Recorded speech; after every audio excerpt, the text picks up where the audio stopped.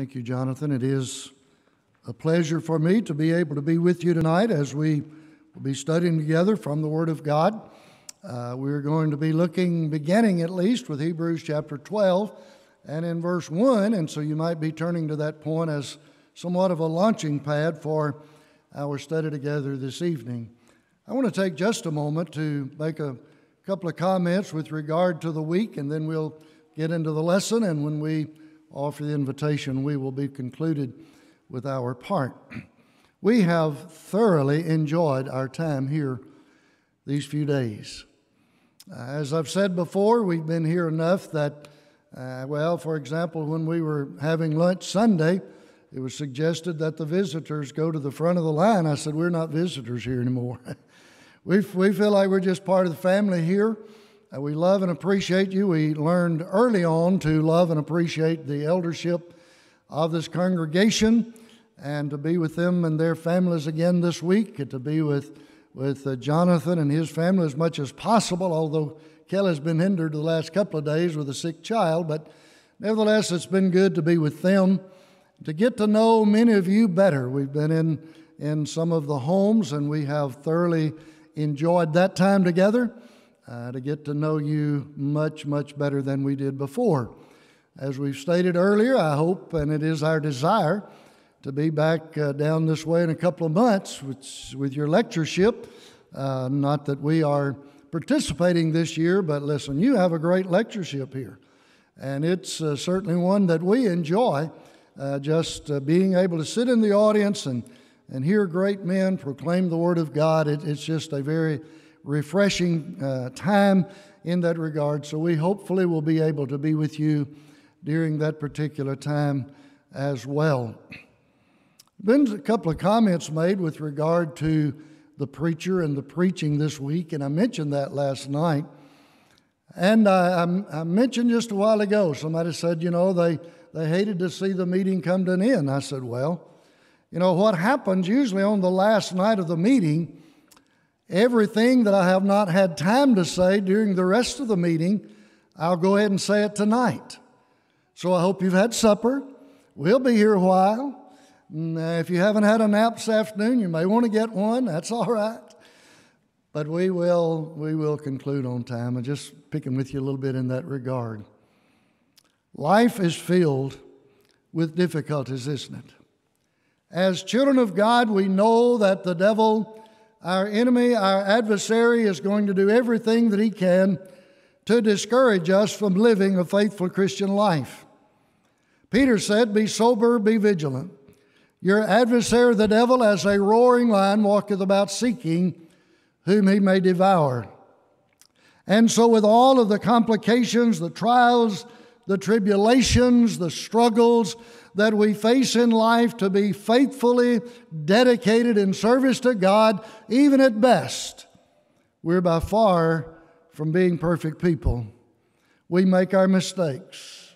We let ourselves down, we let the elders down, we let the church down, but more importantly, we let God down often by the difficulties that we face and the way that we do not handle them quite so well at times. But you'll remember the statement of the Apostle Paul in 2 Timothy chapter 3 and in verse 12 Yea, and all that live godly in Christ Jesus shall suffer persecution. So, what I want to try to do tonight, we, we've presented lessons throughout the, the meeting thus far to encourage you, to strengthen you, to help you better understand, you know, what is the priority of life, what is it that is really more important than anything else in life is. But tonight I want to encourage you as we think about encouragement from the past. In this particular study, that's exactly what I want us to go, do is to, to go back to the past and see if we can find areas of encouragement to help us through whatever difficulty or disappointment that we may face in life. Hebrews chapter 12 and verse 1 Wherefore, seeing we also are compassed about with such great a cloud of witnesses, let us lay aside every weight and the sin which does so easily beset us. And let us run with patience the race that is set before us, looking unto Jesus. The author and finisher of our faith, who for the joy that was set before him endured the cross, despising the shame, and is set down at the right hand of the majesty on high. That particular section of Scripture is referring back, in essence, for the first part, is referring back to chapter 11. Seeing we are compassed about with so great a cloud of witnesses. Those Old Testament characters that are mentioned in Hebrews chapter 11, who by faith did what they did to please God and have their names in that record, in that section of that, that great faith section of the Bible, of those who were pleasing to God because their faith was a working and active faith. And then the second example that he gives in that context by way of encouragement is that of Christ himself, looking unto Jesus, who for the joy that was set before him endured the cross, despising the shame, and is set down, right hand of the majesty on high. You see, Jesus endured. But he endured because of the joy that was set before him. Brethren, tonight, we have joy in this life as children of God. Rejoice in the Lord always. And again, I say rejoice. Paul wrote in Philippians chapter 4 and verse 4. But even beyond the joy of living the Christian life, we have a joy that is set before us of being with the Father eternally. That hope, the Hebrews writer said, is, is an anchor of the soul. Tonight, that's what I want us to think about. These characters of the past and the things that they faced in their lives are things that we often face in our lives. And when we see how they endured, when we see how they dealt with those issues in life, then hopefully it'll be an encouragement to us. To simply say to me and simply say to you, whatever I face, with God's help, I can make it. I can overcome. I, I, can, I can see this thing through. I'm not going to let it get me down. And so when we begin to look at this section, going back into chapter 11, I want to begin our study with verse 4, in which it is said, um, By faith Abel offered unto God a more excellent sacrifice than Cain, by which he obtained witness that he was righteous God testifying of his gifts, and by it he being dead yet speaketh. When you look at this particular section, and of course you you know when you when you go back to Genesis chapter 4, you'll well remember the story of the of the offerings of, of these two brothers, Cain and Abel. This particular verse reminds us of, of Abel's sacrifice and I hope that you are aware when you, when you see the phrase, as we'll notice throughout this chapter, by faith, I know that you understand that faith comes by hearing the Word of God. And so when the Bible says of Abel that by faith he offered, it simply says to us that God had instructed these young men how to worship. Abel did exactly what God had said the obvious is Cain did not. It's always been somewhat of a strange thing to me, although as we look at human nature, we see it happening over and over and over again. Why was it that Cain got upset with Abel? Abel wasn't the one who condemned his sacrifice. Abel wasn't the one who was displeased with his offering, it was God. He should have gotten angry with God, not Abel. But have you ever noticed in, in our day and time when, when people get mad at the message of God, generally they get mad at the messenger, not the message. I don't know why that is. That's strange. Because when we present God's word, we're just, we're just telling you what God has said about the matter. And if you don't like what God says about it, don't get mad at me. Get mad at God and deal with God. Take it up with God. But what we have in Abel is this. And you'll notice on the screen Matthew chapter 15 Verses 8 and 9, which talks about the matter of worship. In vain they do worship me, teaching for doctrine the, the commandments of men. And so there is, there is worship that is acceptable to God, worship that is not acceptable to God. And these two young men show us a great example of that. One accepted, one was not accepted. And as a result, there was a family conflict between these two brothers, resulting in the death of the righteous one. When we think about that story and we try to make application of it, how often is it among brethren today that we face some form of family opposition? But we understand from the teachings of our Lord that, you know, that, that that's going to happen at times. And Jesus made it very plain that, that in order for us to please Him, we must, we must love Him more than we love any family member. He that loveth father, mother more than me is not worthy of me. He that loveth son or daughter more than me is not worthy of me. He explains that a man's foes shall be they of his own household.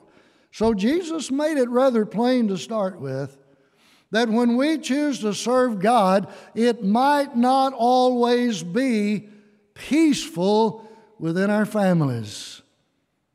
Especially, we have folks in our families that are not worshiping God the way they ought to. I, I know several situations where you have a, a one family member that's a that's a faithful child of God. You have a, another family member, maybe a brother or sister or father or mother, whatever the case might be, that is not a faithful child of God. And usually what you hear is this we can't talk about it. We can't talk about it. Every time the subject of religion is brought up, it just brings about a big fuss. Well, isn't that what the Lord said? Man's foe shall be they of his own household. And so, while that may not be a pleasant thought in that regard, yet that's exactly what Jesus told us was going to happen. Yet you'll notice in this context, it simply says, by faith, Abel. By faith. 2 Corinthians chapter 5 and verse 7, Paul simply says that we walk by faith, not by sight. Those that intend to be with God eternally must continue to walk by the Word of God, by faith. You remember John said in 1 John 1, down about verse 7, if we walk in the light as He is in the light, we have fellowship one with another, and the blood of Jesus Christ, His Son, cleanseth us from all sin. As long as we continually walk, and I'm sure you've heard the explanations within that verse if we walk in the light. That's continuous action verb. If we walk in the light, continue to walk in the light as He is in the light, we have fellowship one with another, and the blood of Jesus Christ cleanseth us. Another continuous action verb. And so, as long as we're walking in the light, there is that continual cleansing by the blood of Christ. So, we've got to continue to walk.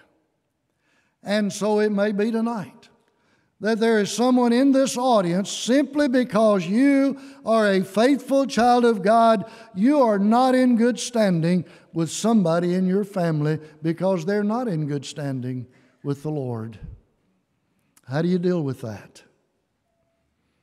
Abel's encouragement to us is you just go ahead and do what's right. Just do what's right. Just go ahead and, and walk by faith. Don't, don't be so discouraged. Don't, don't try to compromise. Don't try to make peace in the family when peace is not going to be possible if you're going to faithfully serve God. And let me say this that is not always easy. When you've got a, a wife who is a faithful member of the body of Christ, and her husband is a jerk. It's not always easy for her to be faithful in service to God. Or when you have, have children who reach the age of accountability and, and through whatever influence they, they decide to become children of God and, and they're told by one parent or the other or both, you had better not be baptized into that church of Christ. If you do, you better find you a place to live. I've known of that happening before. You see, when we choose to serve God, we have made the most important choice in life and when it causes family problems. Abel is our encouragement. Just go ahead and by faith, do what's right. You'll know when you do that you have pleased God, and He's the one you ought to be trying to please anyway, first and foremost. And by pleasing Him, you'll know that when judgment comes, you can hear Him say, Well done, thou good and faithful servant. Enter thou into the joys of thy Lord. Isn't that what we're all about? Isn't that our desire tonight? Isn't that our hope tonight? That's where Abel would lead us in that regard. So if, if you have that kind of difficulty in your life, family opposition, because you're a faithful child of God, go back and read Hebrews chapter 11 and verse 4. Just do what's right. Then you come down to verse 7. And it says, By faith, Noah, being warned of God of things not seen as yet, moved with fear, prepared an ark to the saving of his house, by the which he condemned the world and became heir of the righteousness which is by faith. Sometimes when we read the, the study, and if you, you remember this, the, the story itself, going back to Genesis chapter 6, 7, 8, uh, how God instructed Noah to build that ark, gave him specific instructions as how to build it, and warned him that there was going to be a flood, and you know that was going to be the means of salvation. In that regard, that, that Noah began to build, and it took him a long time to do it 120 years. All of the time he was building, he was preaching, trying to get people to, to listen to the message of God that he had to deliver to them. But, but the masses would not hear. And when the floods began to come and the waters began to rise, you know well as I do how many people are on that ark. Eight souls. Eight souls. I've often heard preachers, I, I, I normally don't, don't get too dramatic with, with my preaching, and uh, I'd, I'd, make a mess of it if I did, I guess. But I, have often heard preachers in, in talking about Noah and the building of the ark, what might have been going on around him, what, what the people of the world might have been saying to him while he was building that ark. I mean, you know, you're telling us there's going to be a flood and it's never rained before. What are you talking about? You know, you're going to build that ark and, and you expect us to get on it and, you know, probably calling him crazy and lost his mind and laughing at him and all of that. And that's probably true. I mean, we know humanity too well, don't we? We know what happens when people have no respect for what, what God says about anything. They'll, they'll just simply make fun of you. I don't know what all was transpiring in that, in that regard. But I know this that when the doors closed, out of all the people that were living, only eight souls were saved. The masses would not hear. Do we face that today? When we're trying to proclaim the gospel of Christ, is it not true today that the masses will not hear? I mentioned earlier that, you know, in a, in a community like Pulaski, uh, there, are, there are people somewhere out there who will hear the gospel of Christ if someone will take it to them. But, but you really have to search to find them, don't you? Because for the most part, people are not interested in studying with us anymore. I remember when I was in, in Bremen, Georgia, we had a, a, big old building up there, and, and the basement fellowship hall was as big as a big old fan shaped building. And, and uh, we got, one of our uh, men worked with the telephone company, and he got permission from the telephone company to run a heavy duty line into our fellowship hall. And it had, you know, huge post pillars holding it up. And he ran a heavy line in there and put a box on one of those posts that would accommodate 12 telephones. And anytime we had a gospel meeting, a lectureship, vacation Bible school, ladies' days, whatever we had going on, on Thursday night, Friday night, and all day Saturday, we would, we would get in a, just a little circle around that post with our telephones, and we'd work, we'd work in two hour segments making phone calls to everybody in our area. We would make between three and 4,000 phone calls on Thursday night, Friday night, and Saturday. And I'd done some research on this before we kind of put it in motion. And the reason we did it at the building is because if you try to do that at home and you get cussed out a couple of times or people, you know, uh, really fuss at you a couple of times, you're going to be reluctant to make a next phone call. You're going to be discouraged. But if you're sitting around in a group and you tell everybody, boy, you won't believe what that guy just said to me. You know, and, and, and so you can just kind of, you know, sit back and relax and laugh about it, and then you're ready to make another phone call. The encouragement that we would get from one another. But the research that I found was this, and, and we would always offer a Bible correspondence course in, in addition to the advertisement that we were doing. And it went something like this if you make, if you make 3,000 phone calls, you can expect only about 10% of the people that you call to agree to take a Bible correspondence course and you mail them that first lesson. Okay, if we make 3,000 phone calls on a weekend, we're going to mail out 300 lesson number one of the Bible correspondence course. And then statistics told us that, that when you start mailing those out, you've mailed out 300, that, that you'll be fortunate if 10% of that continues and completes the course. Well, now we're down to 30, aren't we?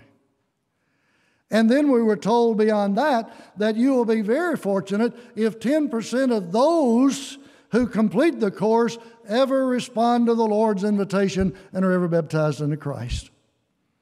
Now, you think that's not discouraging? To say we're going to make 3,000 phone calls in three days and we might or might not have somebody to obey the gospel. So the masses are not going to hear. But you know what the Lord said for us to do? Go into all the world, preach the gospel to every creature. Go ye therefore and teach all nations. We, we did what we could do. Once we put it in, in their hands, it's up to them to respond to it. I think I mentioned Acts 17 earlier this week, where Paul preached in Athens. Some mocked, some said, We'll hear you again. Some clave to him, would indicate they obeyed the gospel. And, and so, whatever the situation is, not everybody is going to hear what we do. And so, when we get into these efforts of, of campaigns or whatever, if we're not careful, we'll get discouraged. But the encouragement is Noah saved his family. If we don't save anybody else, if we can save our own families, and I know a lot of families tonight who are beginning to wonder will we be able to save our own families? We bring our children up in the nurture and admonition of the Lord. But whenever they reach a certain age, sometimes it's younger and younger, seem like, but, but they have a mind of their own. And when they reach that level where they are old enough to do it, they'll begin to make their own decisions and they may or may not remain faithful to the Lord. That's discouraging. But the main concern that we have, number one, is that, that we get there. Noah got on that boat. He saved his family in that regard. Elders, preachers, Bible class teachers, we, we all face that, that same kind of thing. You know, I, I, I preach as hard as I can most of the time. And folks will walk out the door guilty of things that I've talked about in a particular lesson. They'll walk out and say, Man, Sidney, that, that was a great lesson. I appreciate that. And they'll walk right out that door and go back to doing exactly what they did before they came in. That's discouraging. But I'm going to get to heaven if possible. And I'm going to take anybody with me that I can. And I'm going to try not to let all of the negative aspects of that discourage me from being in eternity with God. This life is over. And so, so you know, again, just do what's right. You teach and you preach and you encourage and you can do what you can do. And if folks don't listen, you have done the right thing anyway. You've tried to help them. It's now up to them. So don't let that discourage you. Then we move on down to verse 8, where it says that uh, by faith, Abraham, when he was called to go out into a place which he should have to receive for an inheritance, obeyed, and he went out not knowing whether he went. And then it goes on to talk about his sojourn in that regard. So he was instructed get out of your, you know, from your country, from your kindred, from your father's house, into land that I will show you. He's going to a strange land. He's going to a place, as far as we know, he's never been before. Incidentally, let me just stop right there. I, I see it on the screen. Uh, somebody asked Ann, I think it was early in the week, what does FF stand for? verses following. And so if you see that, that, you know, verse 1 and verses following is what that stands for. And so Abraham is about to go out into a strange land, leave his father's house. What's his, what's his deal here? God said, I'll show you where to go. Abraham, according to what we can find, made no hesitation to do exactly what God said. His trust was in God, it wasn't in himself, it was in God. His trust was in the Lord in that regard. And, so, as you look at various passages of Scripture in that connection, you can find so many passages. I, I only have one here, Psalm 40 and verse 4. But one of the messages over and over and over in the Psalms is trust in the Lord. Psalm 23 is a favorite passage of a lot of people, in which the psalmist writes, The Lord is my shepherd, I shall not want. We recently went through a study of of Psalm 23 at home. Uh, we, we spent about uh, eight or ten weeks on that one psalm because of the personal pronoun, and I emphasize that almost in every class. I would begin the class by saying, The Lord is, and then I would stop. In order to give the class the opportunity to say, My shepherd. The Lord is one in whom we can trust. He will lead us in the paths of righteousness. He will show us. Matter of fact, the psalmist again said, Thy word with regard to God, Thy word is a lamp unto my feet and a light unto my pathway in, in that regard. So he's going to a strange land. He's got to, he's got to trust in the Lord in that regard. One other comment about that before I move on to, to Joseph in that section. You know, sometimes I, we, we, have, we have some good friends, and I, I just use this as one example. We have a, have a good friend who is a good gospel preacher. But he had to stay in a certain area simply because his wife would not move she did not want to leave her children. She did not want to leave her grandchildren. She wanted to stay in that particular area.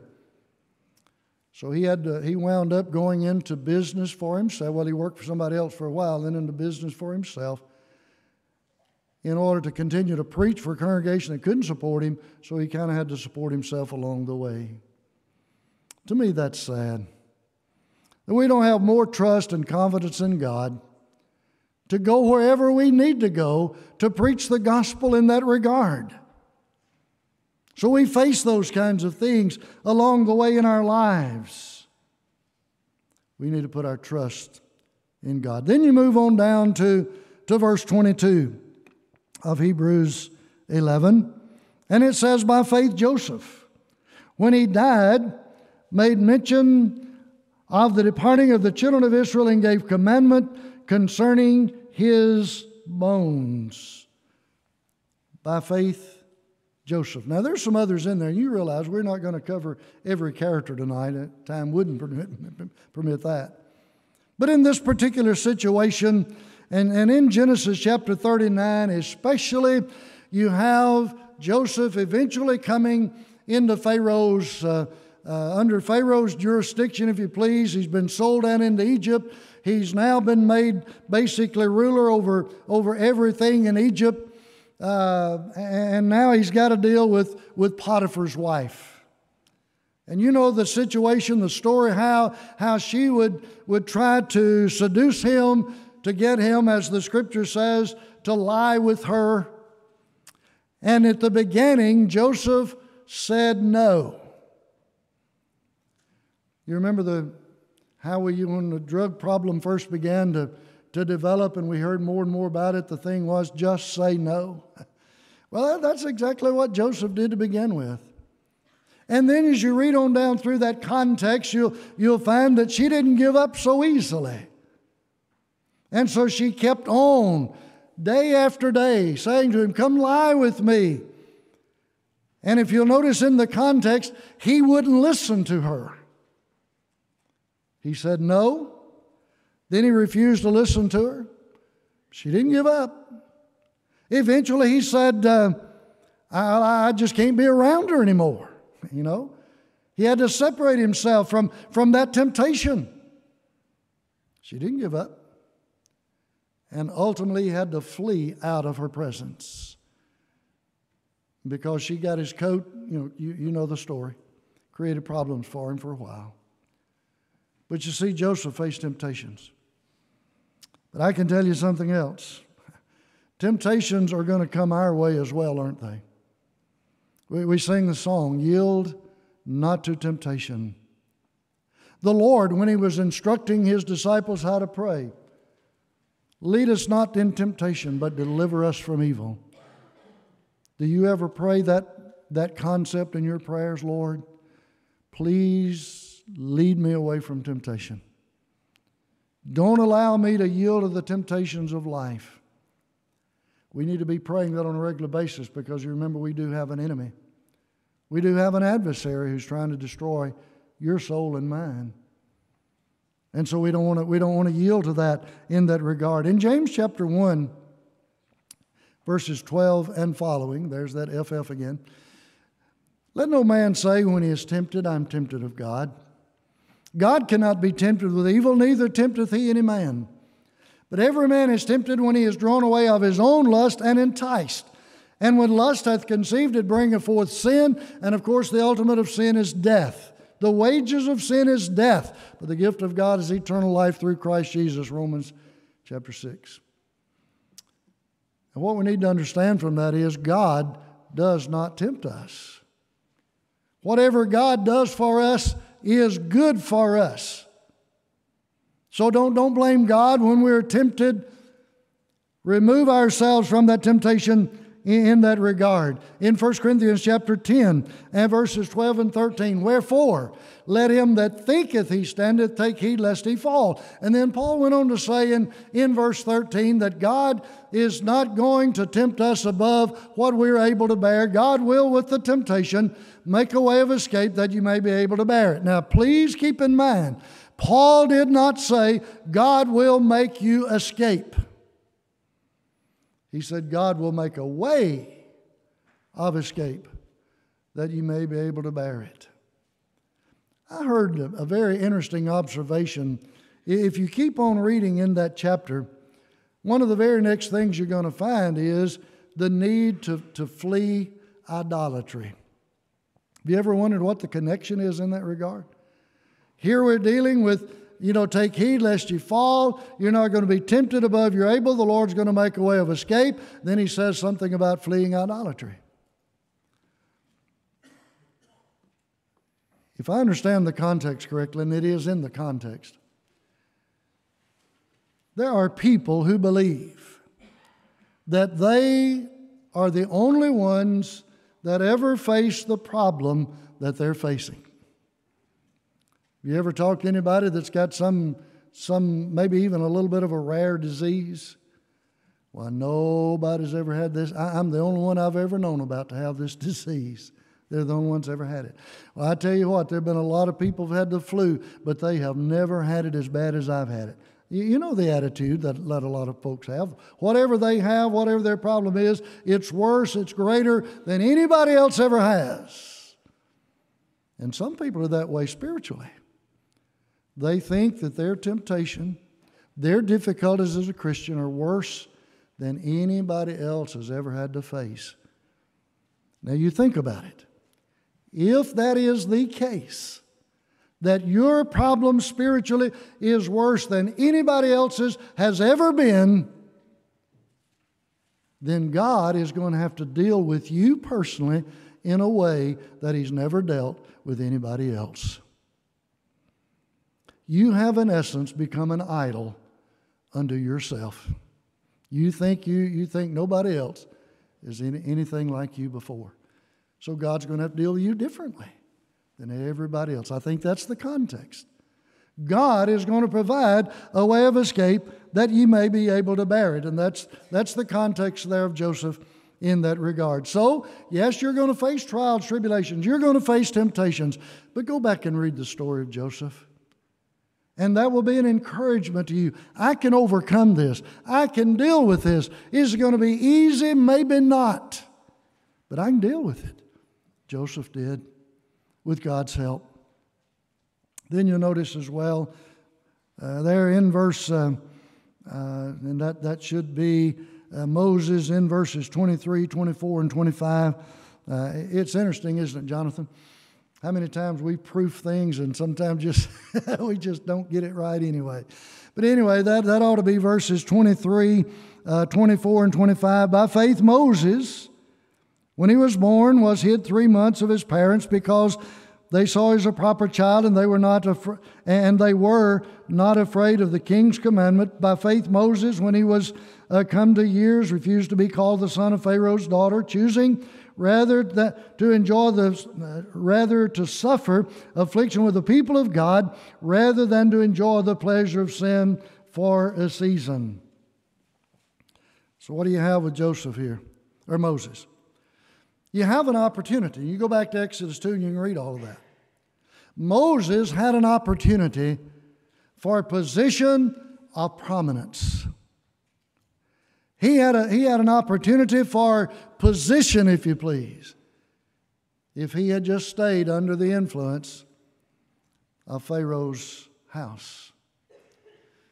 But he chose to suffer affliction with the people of God rather than to enjoy the pleasure of sin for a season. I believe there are times in our lives when we have the opportunity to better ourselves materially at the expense of ourselves spiritually. Better paying job. You know, I, don't, I don't blame anybody for wanting to better themselves. I mean, that, you know, that, that's kind of what it's all about, you know. But if our trying to better ourselves materially is going to affect us spiritually, we better think twice. Because you see, that better paying job might be one that causes you to have to work on Sundays, and, and there goes your opportunities to worship God. Or that, that better paying job might cause you to compromise some of your principles and cause you to, to participate in things that are, that are wrong. But that money sometimes talks, don't it? Causes us to want that better paying job. I, I've known of preachers who have compromised their beliefs, their faith, in order to maintain a job that they wanted. You know, they're, they're within a, they're in a big congregation, they're getting a big salary, you know, I mean, everything is going well for them, and, but they know if they preach on certain things, they're out the door. Any preacher that has that attitude ought to quit preaching tonight. Paul said, I've determined to know nothing among you save Jesus Christ and Him crucified. And then he said to those Ephesian elders, I, I've shunned not to declare unto you the whole counsel of God. I don't mean to be ugly,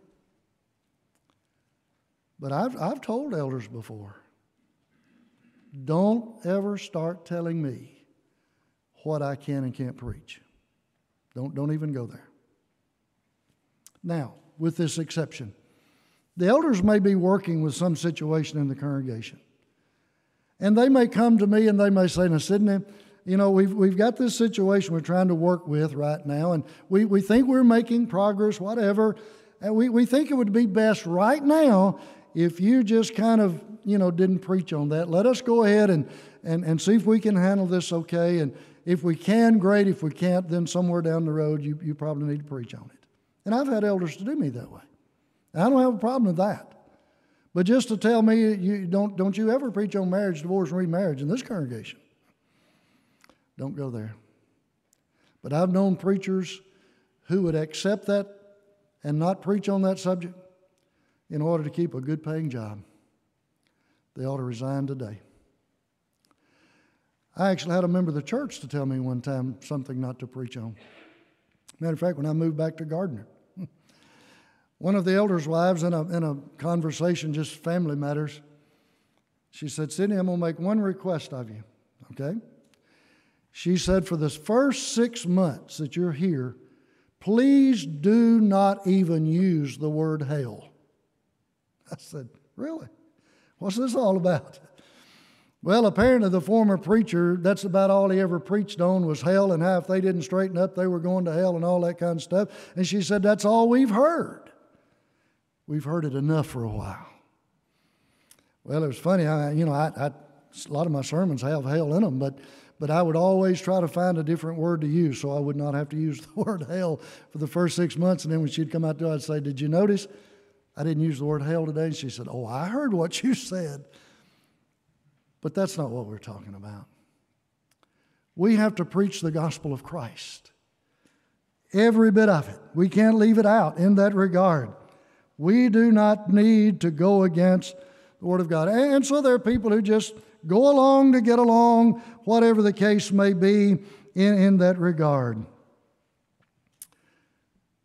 So when you face that difficulty in your life, go back and read about Moses. Let him be an encouragement to you. I don't need that job. I don't need that position. I need to faithfully serve God, and if I take that job, if I take that position, that's going to interfere. I don't need that. Let Moses encourage you in that regard. So whether whether you're talking about family issues, whether you're talking about people not wanting to hear the gospel anymore, whether you, whether you talk about uh, things in life where you don't understand how it's going to work out, so you've got to put your faith and trust in God, whether it's temptations you're facing in life, whether it's opportunity, whether it's prominence, whether whatever it is in life that you're facing. I believe if you'll go back and read Genesis chapter 11, you'll find encouragement from various characters who, according to the text, by faith, did what God wanted them to do. Let that be an encouragement to you. Now, here's the rest of the that's the introduction. Here's the rest of the lesson. We've, you see all the no, I'm just kidding. There, there's so many other characters mentioned in Hebrews chapter 11 that can serve as examples in other areas, but I think I've given you enough that you can see how these characters can be an encouragement to you. So whether it's you know, whether it's Rahab or Gideon or Barak or, or any of those others. And you'll notice the, the Bible says in that regard that time would fail me. And that's, that's where we are right now.